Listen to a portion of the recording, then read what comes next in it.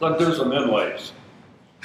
Um, Probably if you've been around me at all, you know I really enjoy inlays. One of the things that I dislike about inlays is normally people go a little black, white, red. You know, I mean, something that reaches out and slaps you in the face. I don't think that's always necessary. Sometimes uh, the blend of them really comes out much nicer. And hopefully I can show you a little of that tonight. Um, I do a lot of inlays, and I'll pass a few things around. I don't keep them strictly to uh, bottles or anything. But there are some pens here that'll also go around. If you notice the one, all the inlays are capped in brass. Yes, that's a, a little something to try.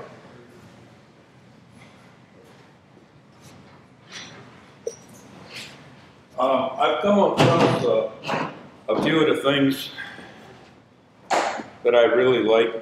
Um, in the last month, I've probably done 30 of these between my wife and my daughter. Uh, every time I turn around, there's a new bunch of bottles, not always the same size or anything that's sitting on my bench. And uh, I guess they're kind of like do things for the wife and the daughter, so. And then the daughter gives them away to some of her friends, so I end up doing a bunch of them. Uh, this particular one, uh, my wife is taking some to England, so I even had to take and make a bunch for her to take to the people that are hosting her, so.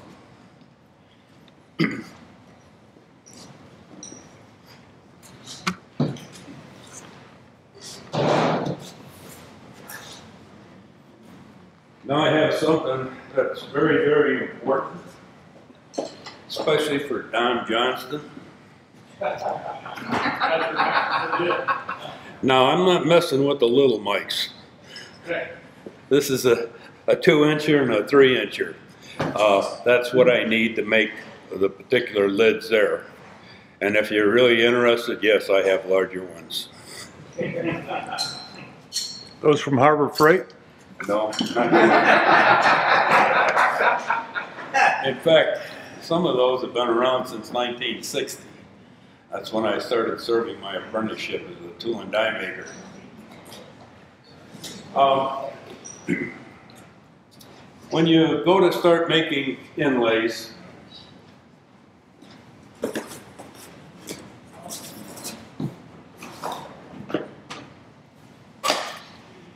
the main thing is you might want to start to decide how to take and do your um, your design. And I think your design matters a lot.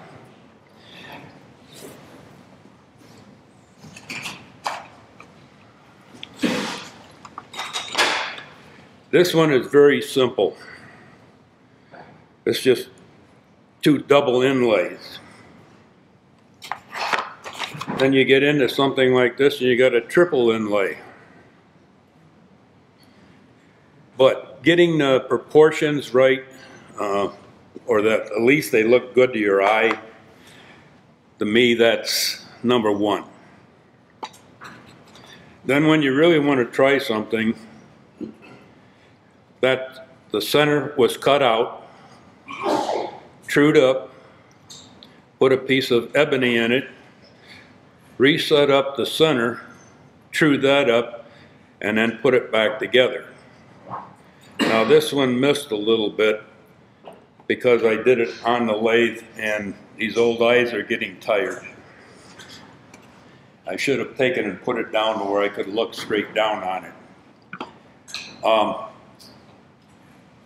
to cut that apart and put it back together and have that amount of um, wood taken away, I think is pretty good. In other words, I had to take and use a A special tool of mine.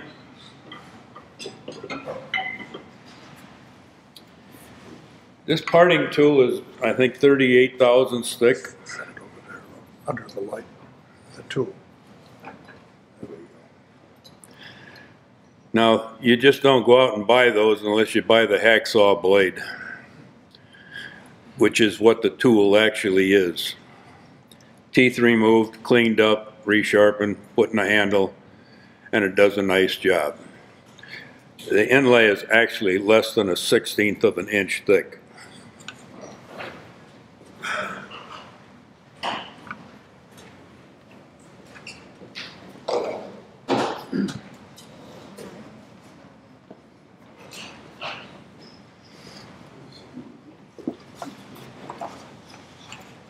As well pass the rest of these around so you can see them also. You better count them first, Dick. It's okay, I got beepers on them. Find my lid. Okay, when I go to start doing my inlays, uh, the first thing you want to do is take an inlay a lid into your piece of wood. Once you've got that started, then you want to kind of develop what you're going to do for an inlay. Now, one of the things that is kind of a pitfall for people, when you're doing anything on the lathe, if you take a sixteenth off, you've actually taken an eighth. You have to figure a sixteenth on a side. So when you are figuring for a thickness or a width on one of your inlays, just remember that. You know, if you want a sixteenth, you don't make it a sixteenth. You make it a thirty-second. Okay, what I like to do is I'll take my woods that I want to use and I take a circle template. And I'll go over it and pick out what I want so that the wood is kind of kind of put out in the front where you get all the figure that you want in it or all you hope you can get in it. And then I cut them out in the bandsaw. Once I have them cut out, I go to my disc sander and I bump the back of them. And the reason I do that is so that it's nice and flat, I can put it up against a piece and turn it. But there's two things about doing that. Number one, when you do that, you want that down, and when it does, it makes the sides parallel. If this is out of whack and you put it in your inlay, it's going to set it at an angle and you're going to have gaps around your inlay. So by doing it this way, your inlays are straight. Okay, I just put a piece of uh, scrap wood in, in the lathe or chuck. And normally I used to just take and put a piece of double-faced tape on here. With the larger ones, I start getting a little problem because they're, they're a little harder to pull, so sometimes you knock them off. And if you're doing a bunch of them, you know, then you're putting new tape on all the time. The small ones, I don't have a problem. When I'm talking small, I'm talking maybe three quarters of an inch. Uh, I think my record for double-faced tape on the small ones like that is 29. If you put your tailstock up there, nine times out of 10, you're gonna have a, a hole in the middle of it. I like to take and use the centers for a smaller inlay. If you put a, just a, a flat, uh, point in your, uh, live center, it has a tendency to wanna kind of skate around on you. So I made my own. This happens to be a bearing off of a router bit. And it works like a charm.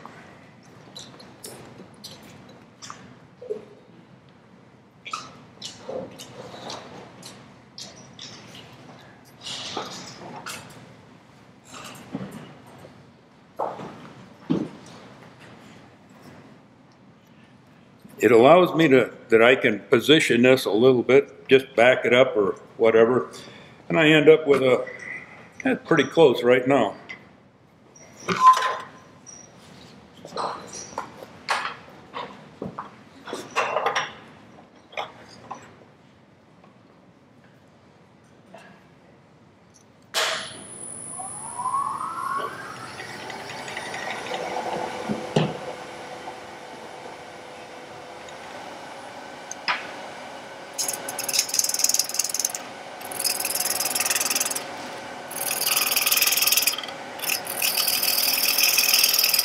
If I'm doing small ones especially, I'm sure some of you have seen my inlays that are multiple ones offset. Uh, I will use the scrap block as kind of a guide. Some of my inlays will have like maybe four of the same size in it. I would take and go right up against and actually cut into my scrap block. And once I have it sized, my scrap block is the same size, so my next one, when I put it up there, it's just like a pin uh, bushing. You take a look at it, bam, bam, bam, you're right there. So you can move right along. Now, one of the things I found out, if you are trying to make this nice and parallel, you don't want to take and pull this along. What I like to do is I'll start it and then just push it.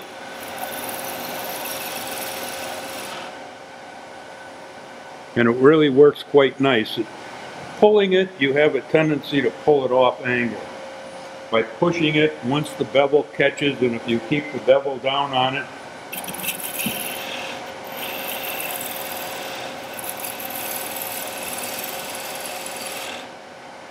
get a nice cut. Can you scrape it?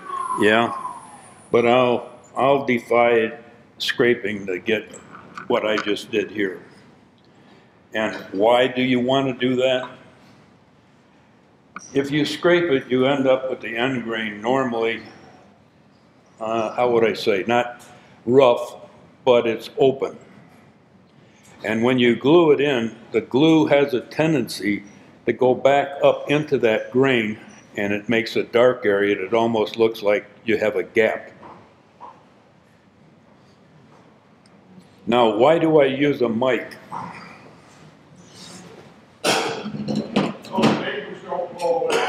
That's right. Okay, when, if I'm using a micrometer on here right now, I'll check my diameter, but between the thimble and the anvil, if I tighten it up there, I can look at it, and if it's laying flat, it's parallel. If it's on an angle, you're gonna see it right now. And you want your inlays to be as straight as you can possibly get them. Everybody with me on that? Besides, if you have plans and you've drawn them out, you do want to lay the mic on it. Don taught me that.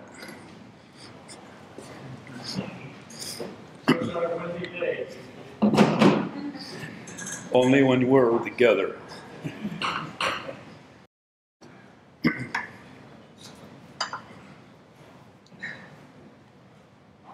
I just put some tape on her yesterday, so now I've got a, my inlay is ready. And I'll, I would go ahead and make all my inlays that I need right now. Any questions up to what I've done so far?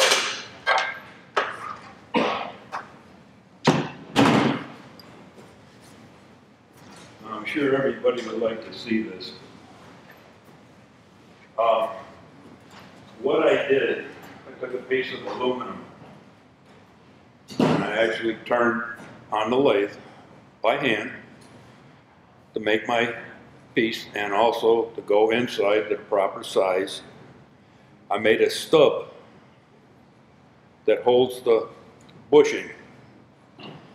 And I didn't make it all the way, I left a little bit of a shoulder to stop this bearing from going all the way so it doesn't bottom out on the, on the piece itself, so it stays free. I think I'm gonna patent that next week.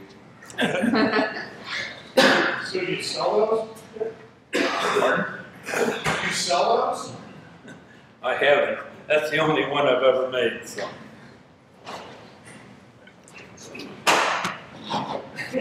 That makes it pretty valuable. Priceless. By the way, just so we're clear, I do want it back. Really?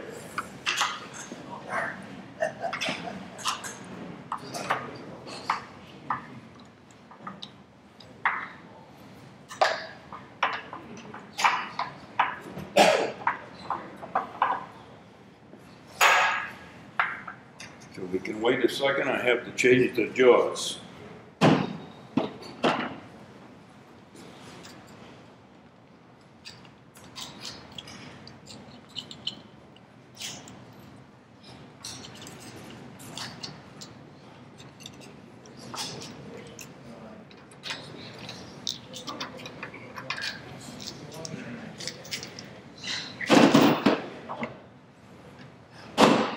Shoot over that.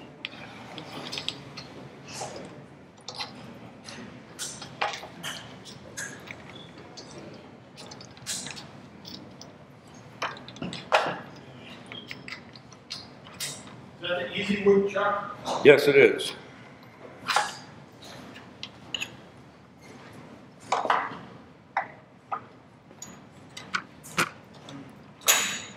How was it held up for you? Fine. I had my, my doubts about it when I first got it. And, uh, if, as you can tell, I like precision. And like on my Vicmarcs or all of them, your jaws are numbered. These aren't. And they go anywhere. So I, when I make my, uh, my jakes, whatever, I always put them in the chuck and I mark it so that it goes back in the same jaws every time. And that way it always stays consistent for me. Well, this one doesn't do that. But I did put an indicator on it and ran within five thousand, so. I changed the jaws a couple times and it always stayed pretty much the same, so. We're working with a piece of wood. Got a piece of walnut here. And you know what I didn't do? I didn't bring a lid, or a jar, so I don't have a lid. But I'm gonna take and go ahead anyway, I know where I'm at pretty much. And, uh, if I get home and it doesn't fit, I can open it up.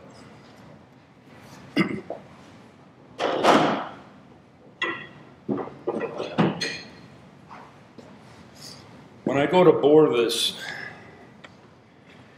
I use my tool that, well, I designed this thing to do inlays.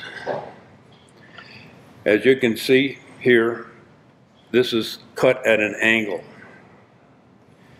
And I don't know if you can see it in the picture, but this is a piece of the original tool. I haven't ground that yet. Okay, when that goes in, that little piece that is the original tool acts as a guide.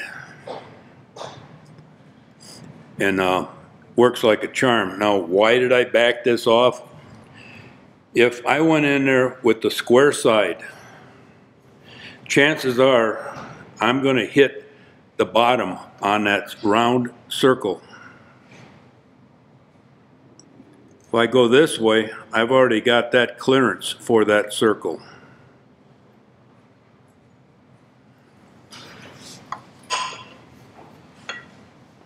Do you sell those?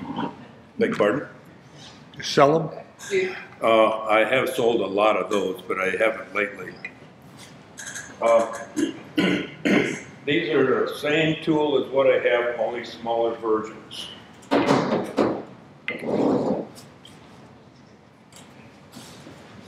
The one I'm using right now is a half inch.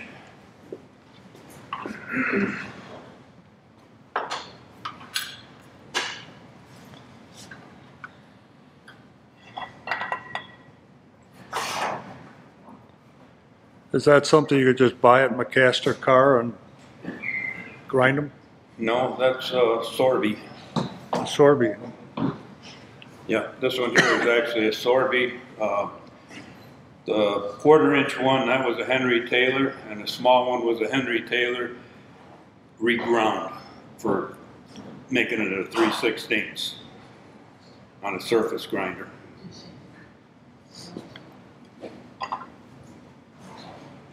If you're doing a lot of them, which I, I set this before I left home, so now I know basically where I'm at for my lid. Uh, You can mark it so you have an idea of where you're at.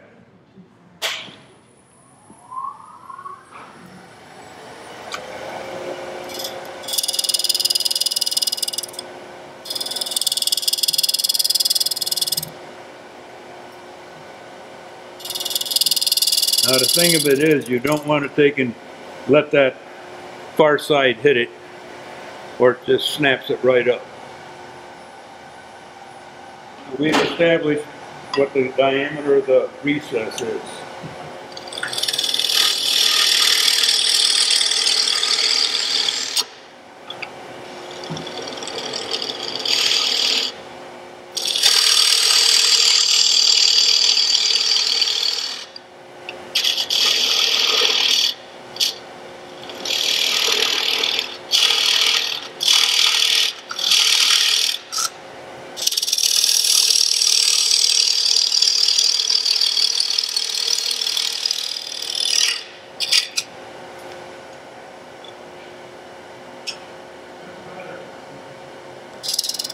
Now, when I start doing the edge of it, I want that to be parallel.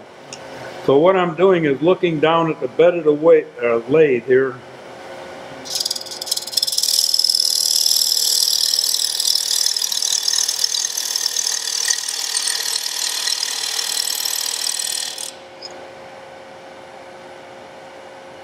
Okay, I know from, I've done enough of them in the last month, what my dimensions are. Storage fees.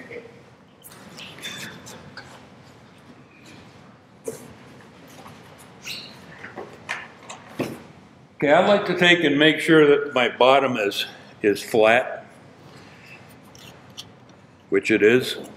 And what I do, I go to Home Depot, one of those places, and go to the Formica, and they have these little things laid out, different colors, patterns. And, uh, you know, I'd say, you know, that one, my wife might like that. I kind of like this, you know, maybe my daughter might like that. And pretty soon I got a stack of them. I used to be welcome at Home Depot. Uh, I take them on my sander and I square them up. So all I have to do is go in there and, you know, what, what better way, you know, I have some that are narrower, whatever. And, uh, they just make a great little way of checking to see if it's flat. Okay, I still need to go just a little deeper.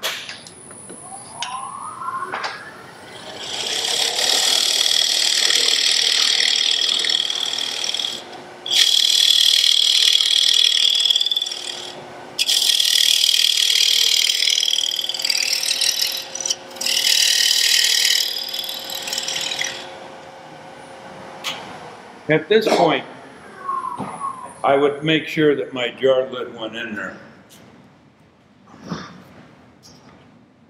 Dick, I noticed your, your handle is, is on a downward slope.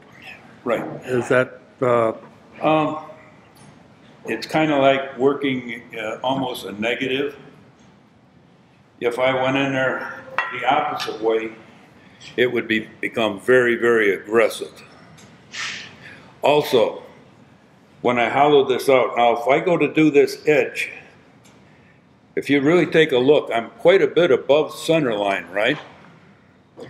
Okay, all I'm hitting is that very, very corner. Everything else is clear because it sweeps away from me. Actually, it goes both ways. So that's one of the things that I, I like to do is make sure that I'm square and I don't get too aggressive in there. As you can see, it's aggressive enough, you know, it cleans everything out in a hurry. So are you looking for? Oh, that, excuse me, but that lid just went in there perfect. It, it, it did. So, so I was just like checking, are you looking for like assertive as opposed to aggressive? No, I'm looking for something that I can handle that really works decent. I don't care if it had to be the other way. I don't think there's any one time that you can make a tool do everything that you want it to do in one position. It just doesn't work. Uh, I don't care what you do. Uh, How many times can you use a, a, a, a three-eighth spindle gouge? You can, you can shear scrape with the side, you can shear scrape with the point, you can do all kinds of stuff. You know, but I mean, most people think that there's only one way to use the tool. No, no, there's not. You use the tool to fit your situation and to do, make it do what you want it to do. If you can do that, you've achieved something. Is there any burr on that tool No. or you- do you hone it off? No, I don't hone it off, but it doesn't last there very long at all. So all. you have pretty fine CBN wheel? Yes. How fine? Well, that one is, uh, two hundred, I believe it is. I have a, my, my gouges, I do a three twenty. Now, what I like to do is finish off the very bottom here.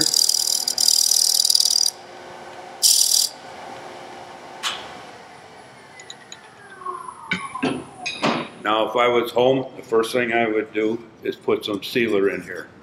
Deft, whatever. Normally, I just take and give it a coat of Deft, just to seal it up.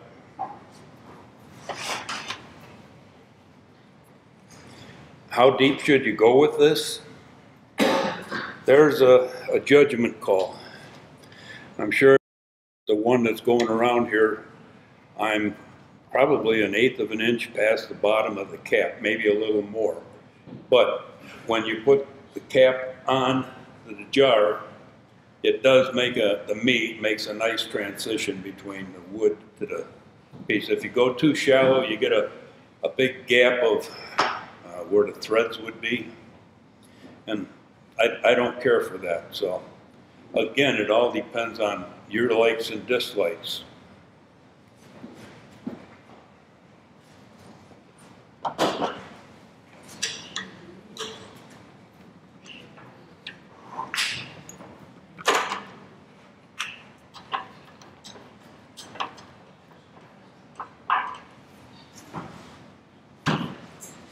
Did you shorten the handle, uh, that came with the Easy Wood tool, or that looks different? Uh, that that's one of my original Vicmarc handles. Okay, Um, I could never understand why people will stand here and try and put that in, when you can just take that. and- Now, is this perfect? No, it's not. Put something big on here, and you interfere with that, so that's why I carry a long one also. But my key of choice is the short one.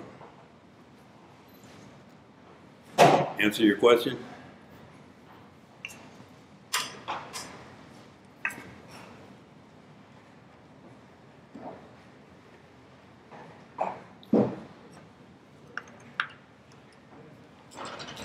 well, of course, the next question is, who designed those jaws?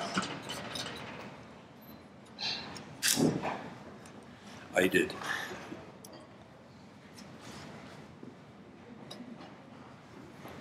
Okay, I took and, uh, made my, my inlays before. I didn't think you wanted to stand here and watch me do all my inlays. We're gonna, the first one that's going in there is going to be a piece of holly.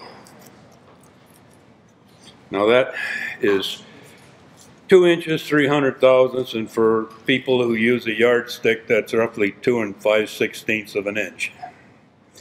I use decimals on count of, I use the micrometers. Once I put that in, I'm gonna put another one in there, two and one seventy-five, which would be three thirty seconds, a little better, two and, two and three thirty seconds. And the last one's gonna be two inches.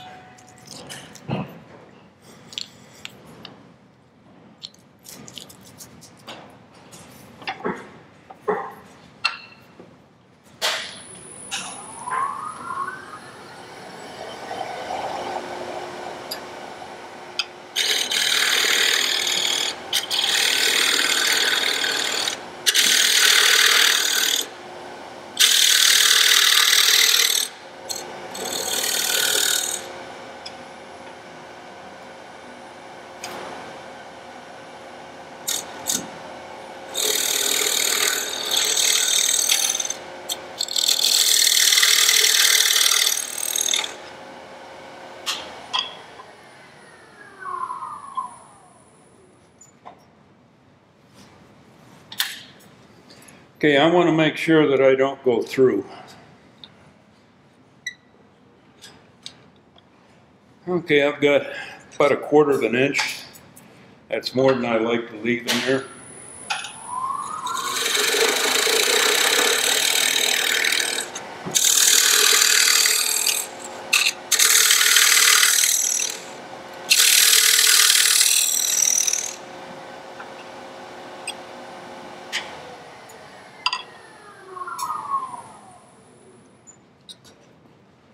Okay, we got about an eighth, maybe just a little bit less.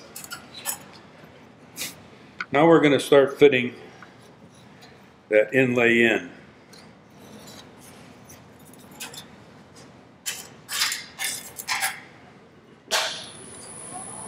Now, I want these to be nice and straight. So again, I'm looking at the, the ways.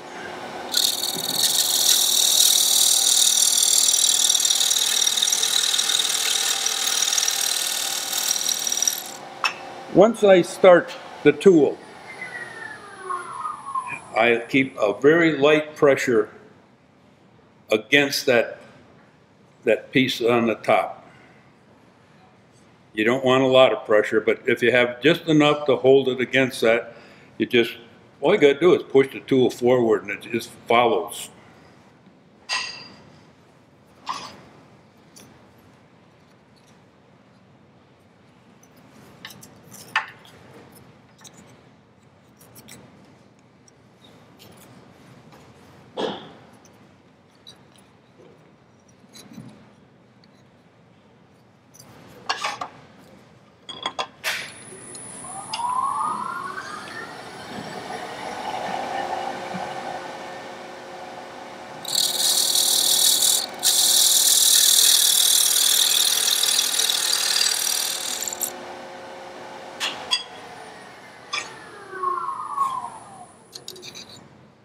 I inevitably get people asking me, why don't I drill that?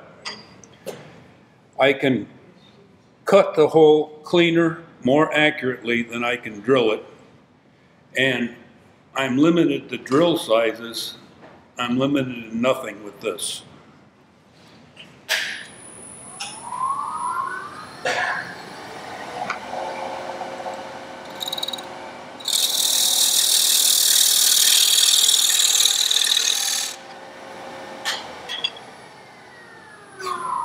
The first one is normally the most difficult because you don't really know where you're at. Okay, she's just starting. Yep, I, yep. If I put it in there, it's not coming out. Here.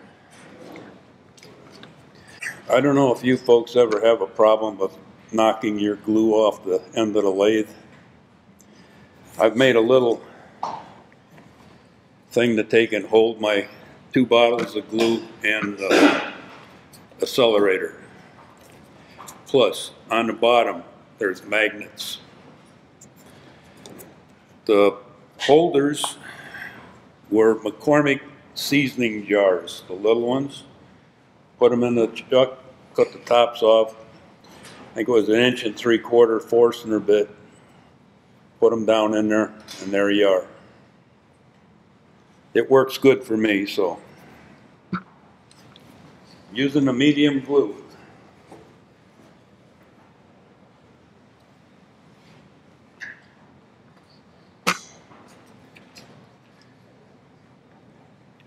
I don't like this handle for, I'm used to a bigger one.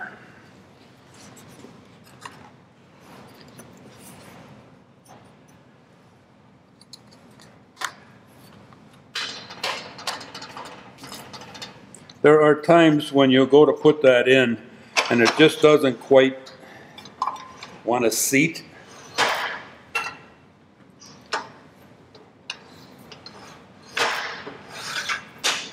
The end of that is square. So it lines everything up there for you and to go in there and reset that. Yes, if you hit it too hard, you stand a chance of breaking things.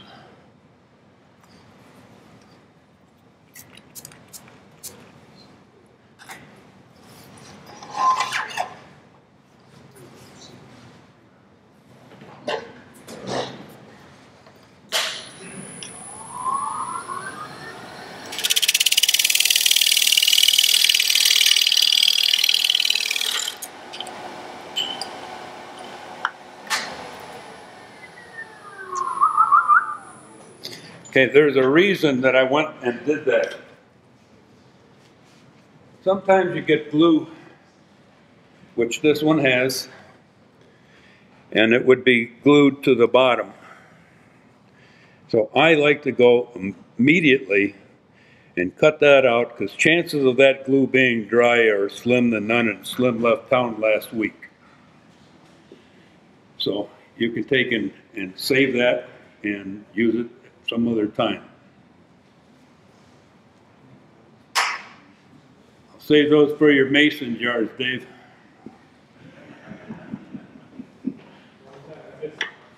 I'm saving the centers for your mason jars.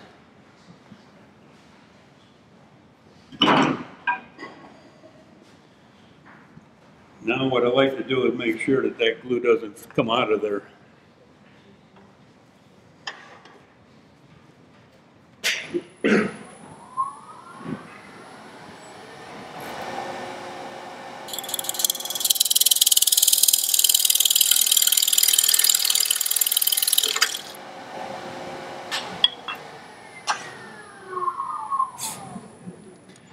What I'm putting in now is a piece of Pernambuco. Dick, when you put the, uh, the glue in there to start with, do you not worry about any of the glue seeping into the wood at all? It does. Doesn't discolor it, not a problem? Oh, yes. Oh, yes.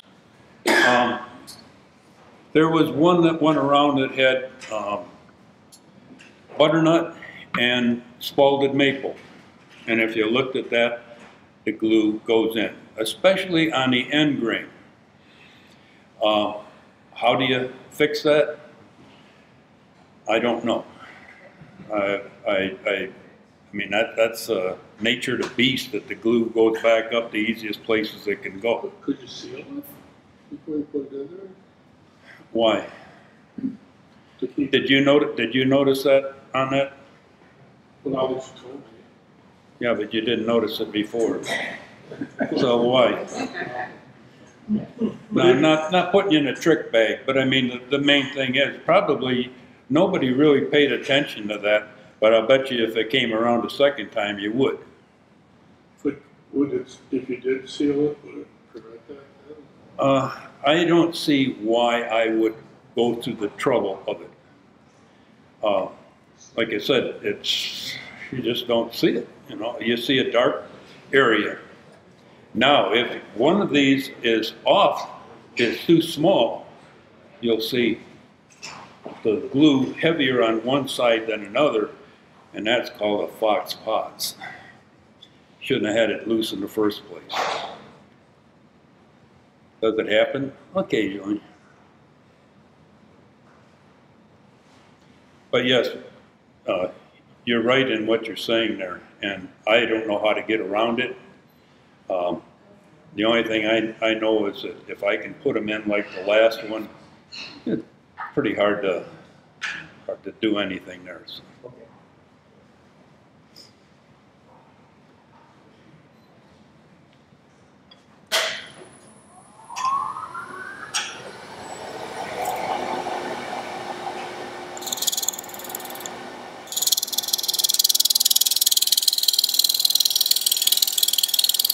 Now, if you have enough to play with, and you're, you're guessing how close are, am I?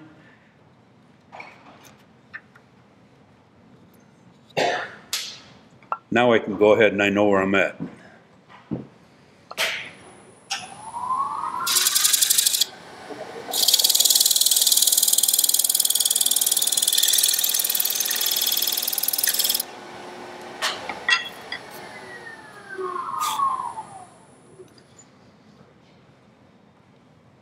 Oh, she's right there. One of the things I don't want to do is go here and drive it in. The white one is only a sixteenth of an inch thick. So you stand a chance of cracking that. Okay.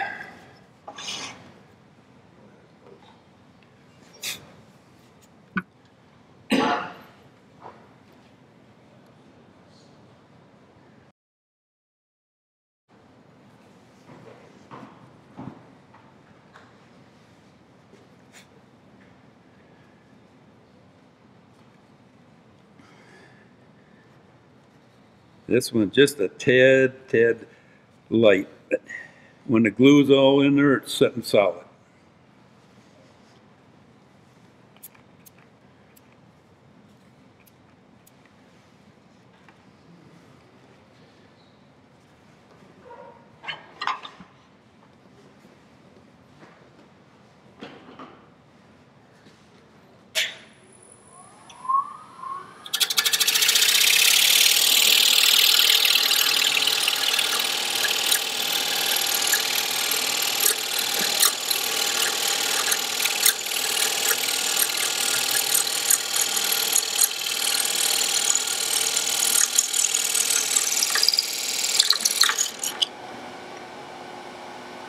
That's my normal way is to catch them on the way out.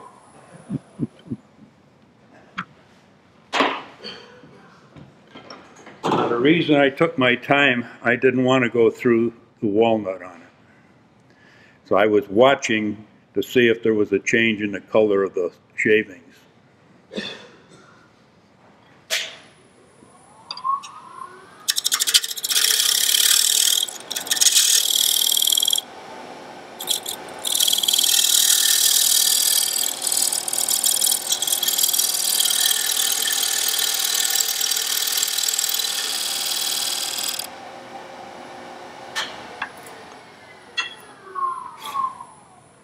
Now I'm gonna put a piece of figured walnut in here.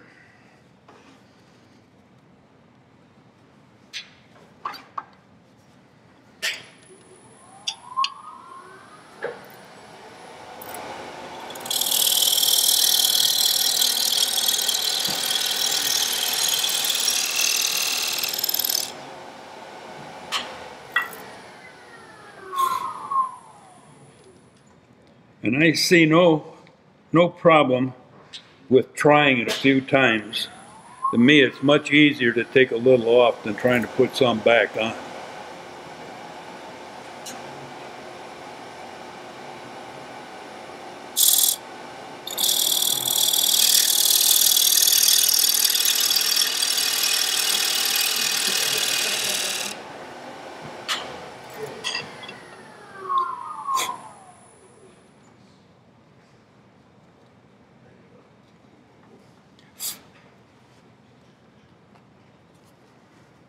Now this one I'll take and put some glue in the bottom also, because this one won't be cut out no more.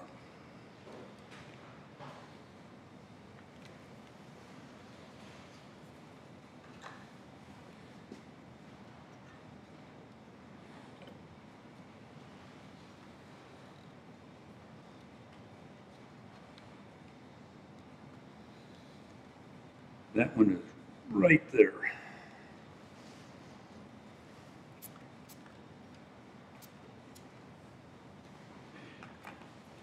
One of the problems that I have now, sometimes that glue doesn't set inside and wants to throw it out. So you have to kind of be careful of that. And I have put some in, well, right there, some glue that came out through the grain.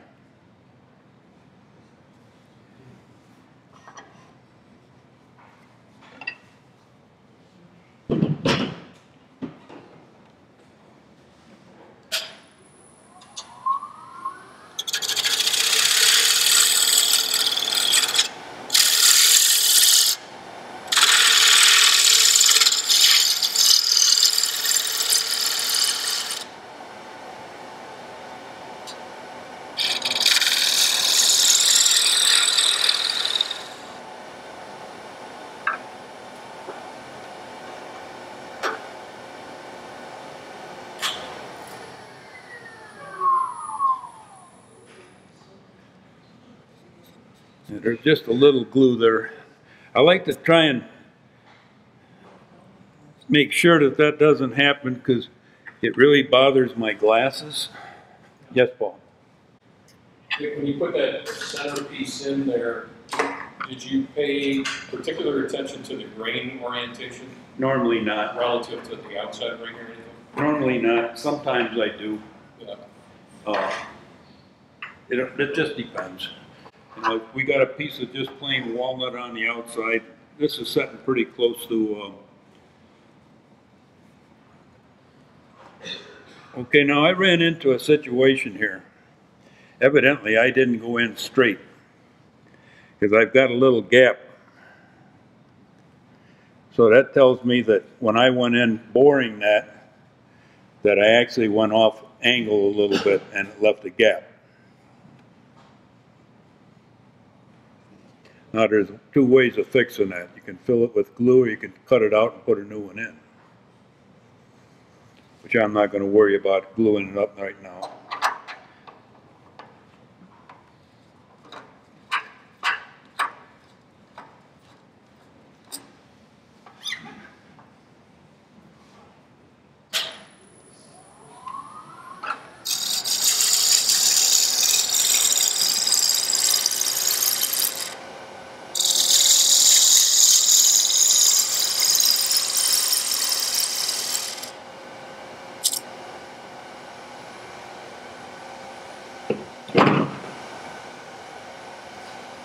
My scraper.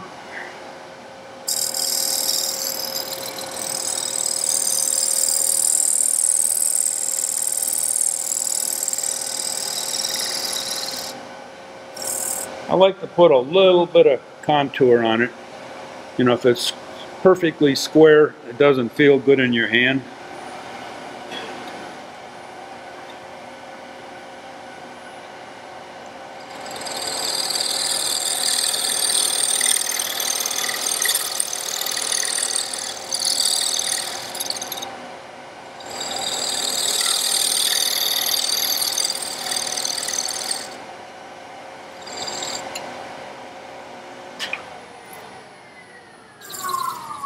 At this point, I would take my sanding on the drill and sand that and then finish her up and you've got yourself a,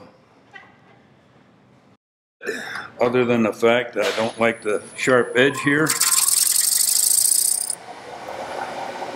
just break that corner a little bit so nobody gets cut on it.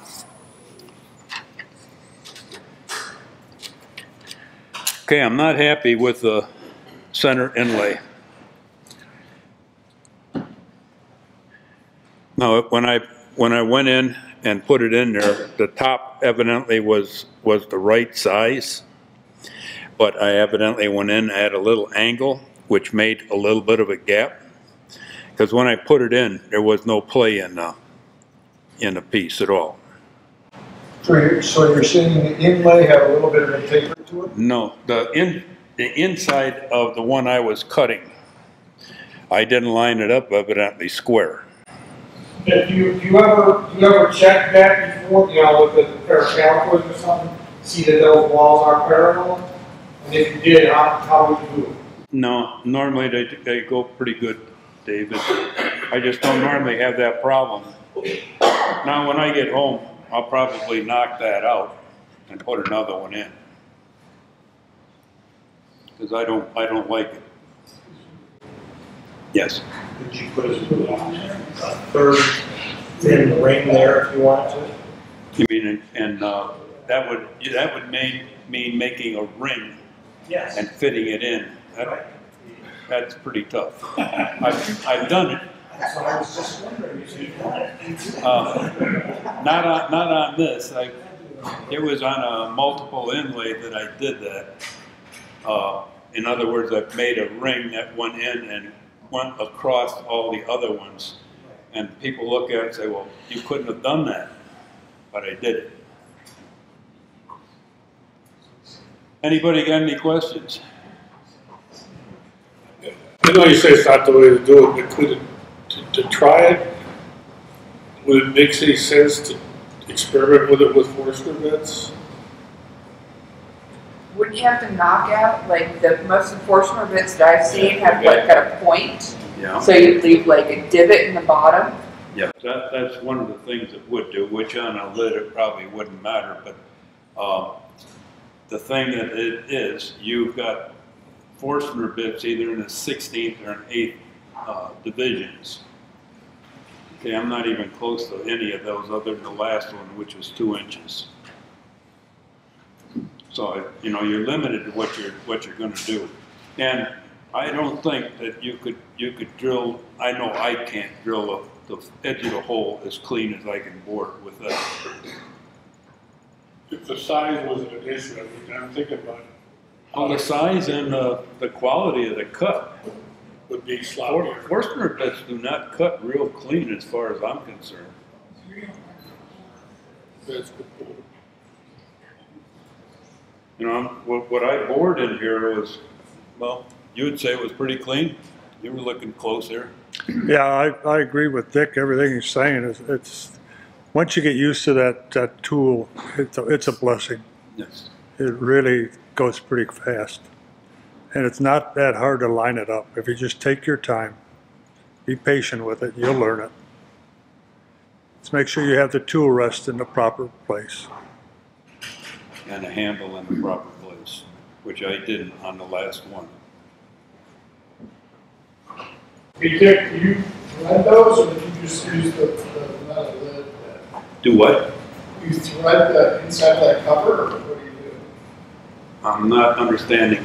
No, you just, he's asking if Or you do you glue that or put a metal lid. Oh. What I do for the cap, I take silicone adhesive and glue it down with silicone adhesive. Now, the only ones I don't like to do is plastic ones. Because there's, nothing wants to stick with plastic too much. Uh, my daughter had one that she, Dad, you gotta do it. You know, I like the jar, you gotta do it. So when I, when I fit the cap on, it was tight to begin with. And then I took and scraped the inside with a few rings, which were opposing to the ridges on the cap. And then when I put my glue in there, I'm sure those, you know, kind of crossway and didn't have a problem with it. But, uh, even super glue will not stick to most plastics. I shouldn't say most of them, but, uh, certain type of plastic. Yes, sir. How do you cut, how do you cut the inlay rings on those pens? You get this tiny cylinder and how, did you do that? The brass rings, the brass insert with the wood. How did you do the inlays on the pens? on the pen. Well, I took the, the brass and I turned the plug that went in it. And then I turned, before I put the tube in, I took and I had turned the pen blank into a cylinder. with the hole through it, laid it out, did all of it in a V block, drilled through, put my brass in, glued it, re-drilled the other way, put my brass tube in, and then went and turned the outside carefully. Because there's, there's not much, there's not much between, you know, the, the tube and that, so. Dick, you ever done any uh, sand shading on your inlays? Any which? Sand shading? No. Nope, have not. Now, I'm going down to John C. Campbell the end of the week, and I'm gonna take a course. Maybe I can learn how to turn, but, uh,